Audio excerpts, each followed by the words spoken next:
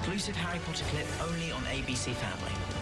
Ginny seemed to have a crush on Harry from the very start. Do you remember the second film? How? But unfortunately, the course of true love never did run smooth. And Harry's first crush wasn't Ginny, it was Cho Chang in the fourth film. Although it didn't go so well for him. Despite some rather awkward attempts to ask her to the Yule Ball, it was Cedric Diggory who got there first. She looks beautiful. Yeah, she does. After Cedric's tragic end, Harry and Cho did end up together in the fifth film, although the romance was brief. Well, how was it? Wet. So, finally, Harry noticed Ginny, and their romance has been complicated, shall we say. Which brings us back to this scene. Let's keep watching.